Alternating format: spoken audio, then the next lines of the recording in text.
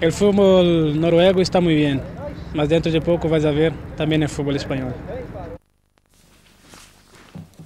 Ja da, Roberto, det er helt korrekt, men dere får også mer om. Rosenborg har et økonomisk grunnlag de andre klubbene bare kan drømme om. Nesten 300 millioner kroner har RBK tjent på suksessen ute i Europa.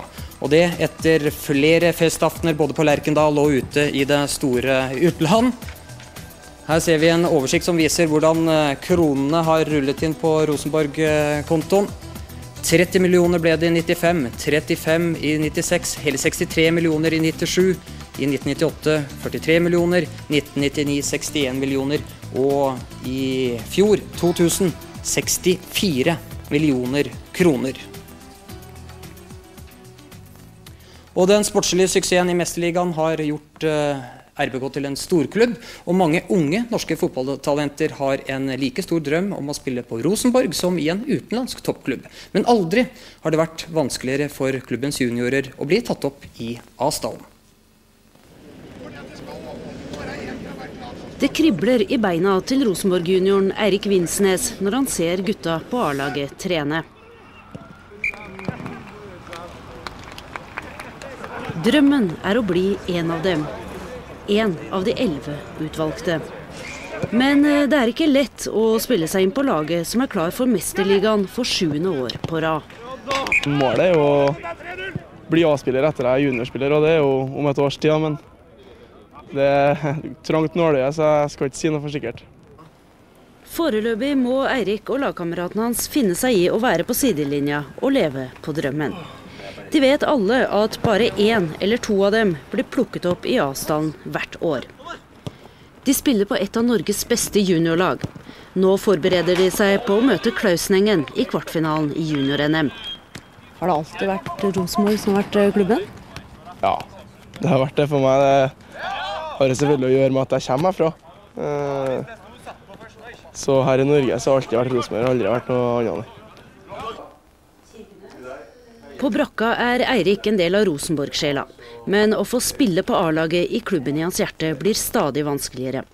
Han må ikke bare holde tippeliganivå, han må være god nok for Mesterligaen. Da vi slo Milan da i, i 2-1 nedi der i 96, så var det faktisk ni spillere på banen som enten har spilt på juniorlaget eh, eller på rekrutteringslaget. Det klarer vi ikke en gang til.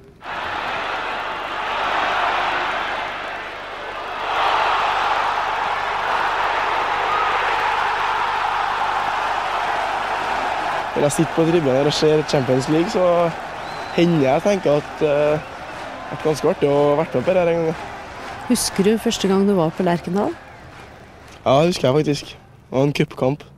Semifinale. Jeg tror det var mot Kongsvinger, og det var Det var 30 000 her.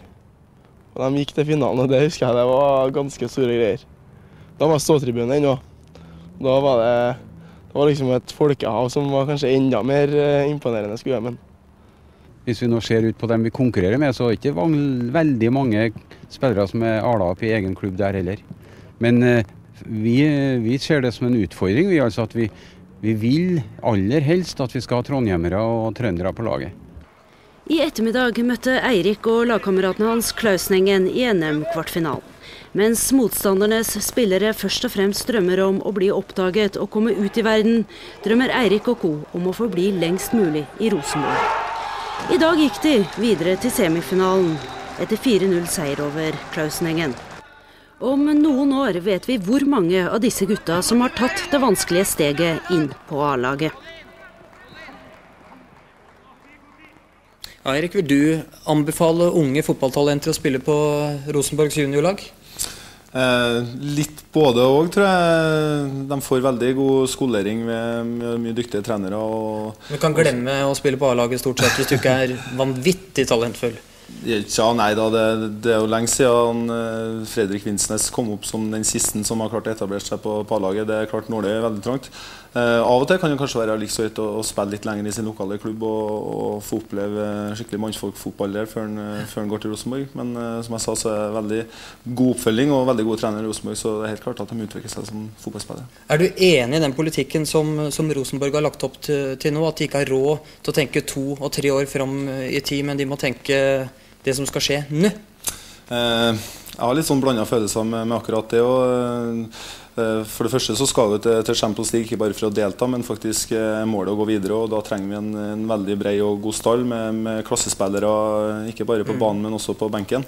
Eh, samtidig så, så, blir det van veldig vanskelig for de lokale talentene å, å slå til og komme, kom ja, på A-laget. Får mange av, nok av de unge talentene mulighetene i Rosenborg slik situasjonen er nå? Nei, klart Nå har vi jo henta inn tre nye i løpet av kort tid, og da, da kommer igjen et hakk lenger ned på stigen. Eh, de unge, unge, talentene som faktisk er i avstand. Det, det, gjør de. Og ingen vet om en f.eks. Mats Skjærvold, som er en veldig god spiller som er i avstanden vår, eh, kanskje kan bli like god som Bent Skammelsrud en dag. Hvis han får sjansen? Hvis han får sjansen. Erik Hoftun, takk for at du var med oss i Sportsrevyen. Lykke til både med seriespill, med Mesterliga og ikke minst på landslaget dere møtes til uka. Tusen takk for det.